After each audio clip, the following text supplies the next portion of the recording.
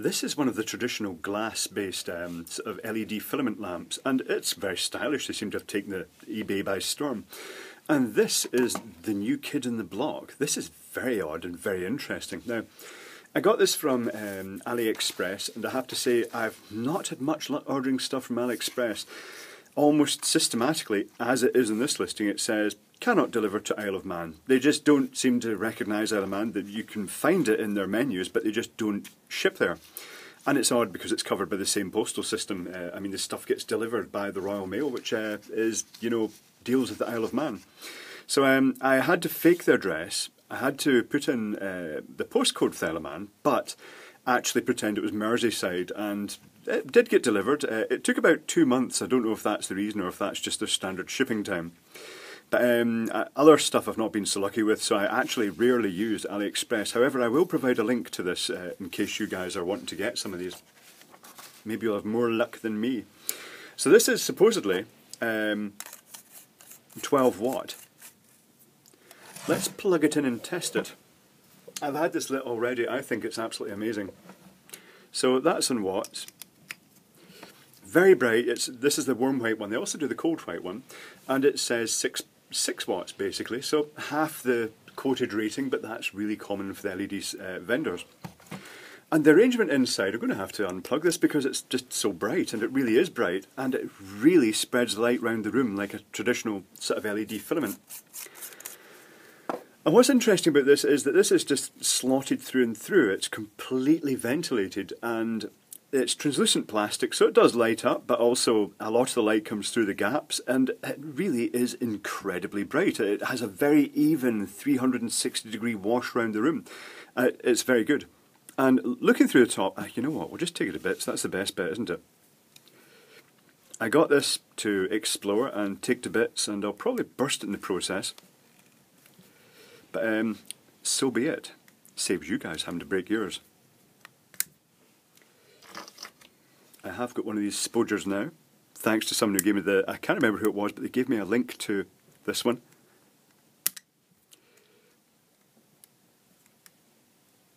This is kind of glued as well. Hopefully I'm not going to burst the connection off the cob. Not very easy to open I have to say.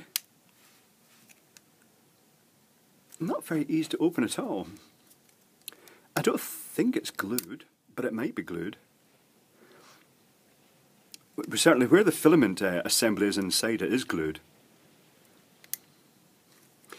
Another odd thing about this, I left this on for a while and really it's so well ventilated it just, you know, hand temperature. Really absolutely no major heat at all.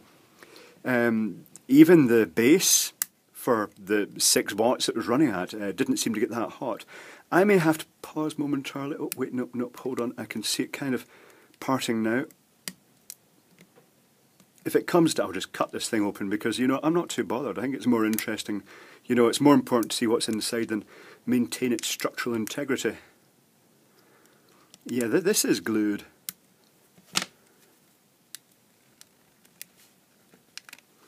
I may end up having to cut this open.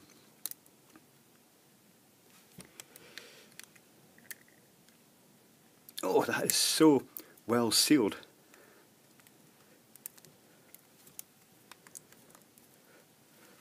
This is the point I start thinking, you know, maybe I should have paused if I'd known it was going to be like this, but having said that, um, sometimes they open quickly and sometimes they don't. That is really glued tight. Where's my... Uh,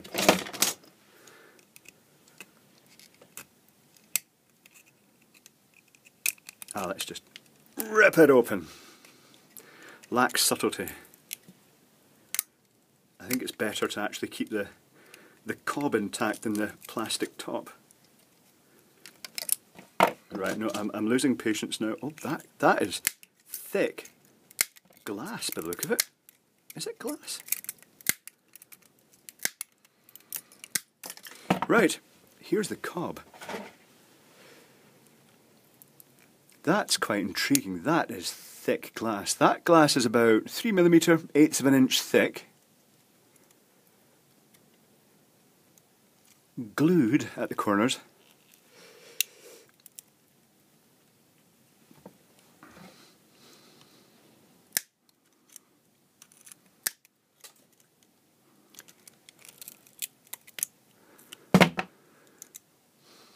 Okay.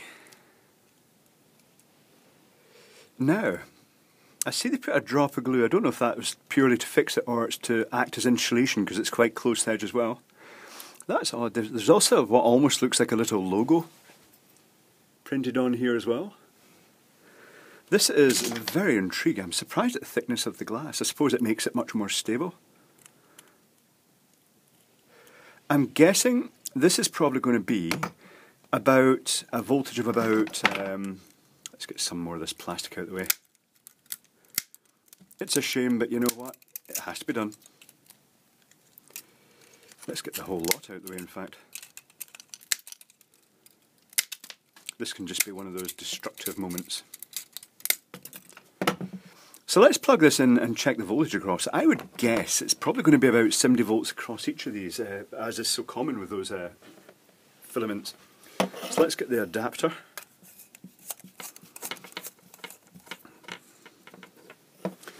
Plug it in. That's kind of neat, isn't it? Just in its own right, that is so intense. And I'll get the meter. We'll stick it up to about 200 volts. Uh, I'm guessing 140 volts combined because it appears to be two in series twice and uh, then those ones in parallel. So uh, I'll just untangle the leads here and we'll see what voltage we're getting.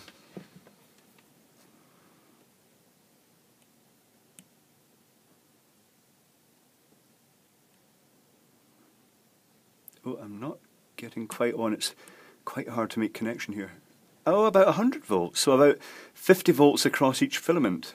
That's interesting. Right, uh, let's uh, take a wee look at the driver then.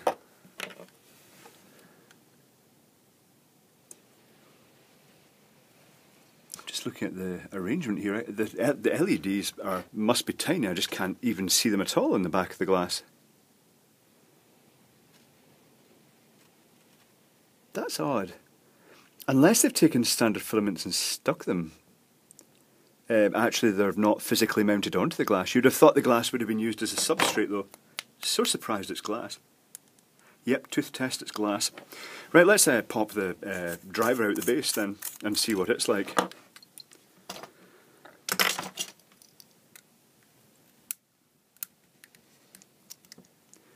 I'm guessing it might come out like this little tiny bit more force required. Hmm, is that glued in as well?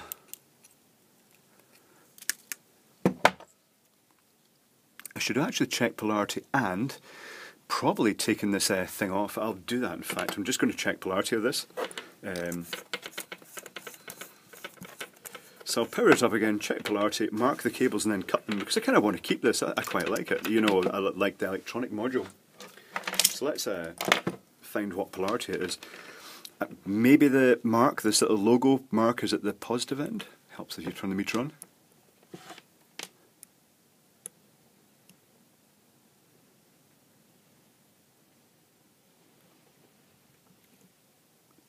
No, it's the negative end. Okay. Rightio. So I'm going to get a, a Sharpie here.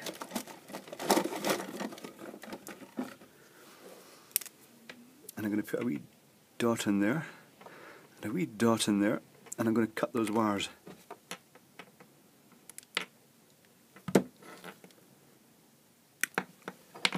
Okie dokie.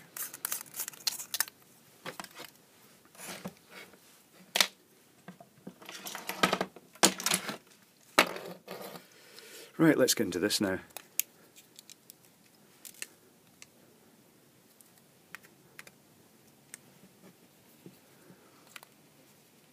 Managing to do at the moment is pull these little bits of the casing off. This is glued, I think. Oh well, they're off now. Let's see if I can impale myself.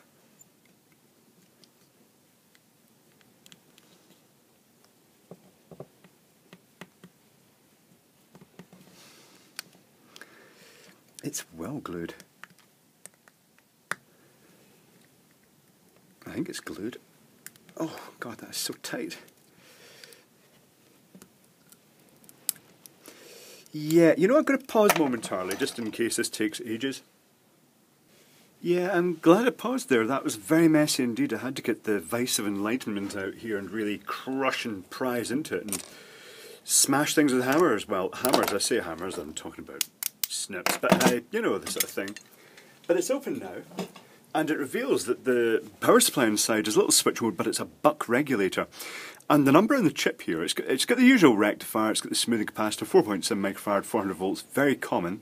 The output one is um, 2.2 microfarad, 400 volts, and the chip is a MC5831, which, um, oh, hold on a second, I just printed that off, one moment.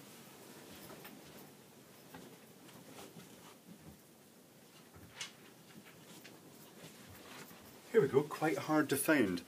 Uh, this is about the best I could find on the MC5831. It's a fairly typical arrangement and uh, in the same listing I saw this, uh, the same uh, site I saw this uh, image, it also had in Chinese the MC5831 and BP2831A. And the BP is a bright power chip, 2831A, and I um, I looked up its data sheet and it's identical. So I don't know if this is just a rebadge or a clone, but um, it's pretty much a sort of bright power type chip where you set the, the current um, with a, a, programming pin for the uh, using a resistor. Um, but uh, yes, if it is that, then it's well within the range because this was being run at approximately 100 volts, and for 6 watts of power, that equates to about 60 milliamps which seems a lot for these cob chips, particularly given you've, you've got two sets in parallel, but it's still it's 30 milliamp per chain. But I suppose, unlike the little uh, thin filament cob ones like this, this one has a big slab of glass to dissipate into, so you know it's not going to get too hot. What did throw me a wee bit was the fact I couldn't see the LEDs underneath, but latterly, if you actually look at this, it's kind of printed with a sort of sharp-edged sort of layer of phosphor underneath and they must put the LED chips on top of that and then put the, the gel over the top of them. And since uh, I think uh, we need to go a little bit deeper into this, so I'm just going to pare a little bit of away with a knife. And it is, it's a crime, but hey, you know, it's better me doing it to this one than you guys having to do it to yours. So let's peel some away. That's revealing nothing. I can hear it crunching through layers now. Right, uh, let's uh, take a closer look.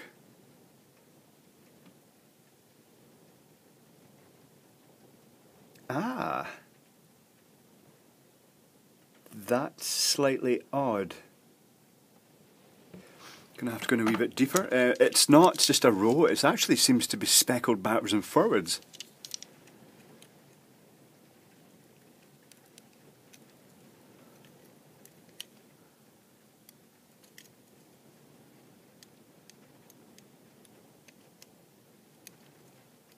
Almost that sort of checkerboardy type sort of arrangement. Uh, oh, they're really coming off scrunchily now. I may be wrong. That might just be the...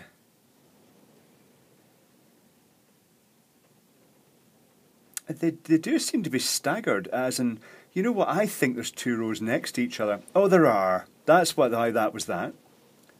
I can see the wires at the end. I don't know if you guys are going to... Actually, you know what, let's try and... Uh, is this going to work? I can't really see this on the screen, so it's not necessarily going to really help all that much. No, I don't think that's going to work at all, is it? Uh, it was worth a go. Uh, what I'm seeing here, where's my notepad? My notepad is nowhere to be seen right now. That's I'm really well planned right now. Um, here we go. What I'm seeing here is, instead of the usual arrangement you'd expect of just a, a row of chips like that, they seem to have them staggered. The first one row, and then the other one is staggered like that.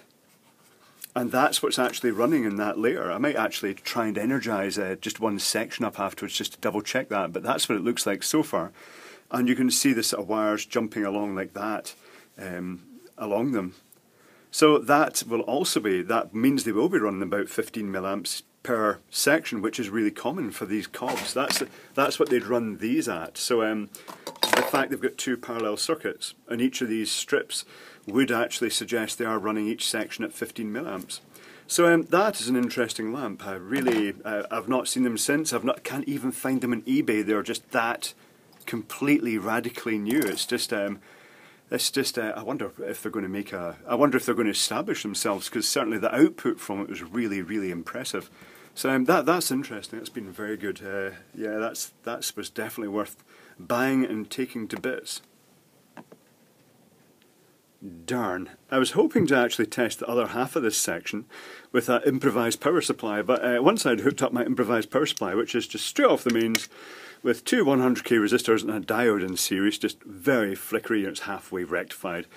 Then I found that uh, I've actually cut into some of the leads for the LEDs in this section, but if I hold it precariously with my fingers, try not to get a shock in the process, because that would be very quite tingly indeed, um, and I bridge it with a metal uh, knife blade, I should be able to get, there's the inner circuit, which is very super flickery.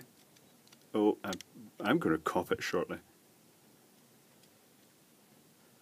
Uh, I'm just not getting a good connection there. But then again, I'm probing around with a knife onto LEDs and tiny little gold wires, so that's not really surprising. So anyway, there's an inner circuit there. There it is, which has one, two, three, four, five, six. One, two, three, four, five, six, seven, eight. It's got about 18 LEDs, and then it's got an outer circuit again, just matching the same on the edge of the thing as well. So it is actually arranged as two long strings of LEDs. And let's see, that was about 18 plus 18. Uh, 18 times 2 equals 36 times round about 3 volts equals the 108 volts. That's what I was getting. So that's it. It's um, two strings of 36 on that side and two strings of 36 on that side to make up the full number of LEDs. So that's uh, quite interesting. I shall put that down before I get a zap off it and I shall disconnect it. See the, the resistors and the diode. Precarious, but hey, did the job. So yeah, interesting LED, really quite like that a lot.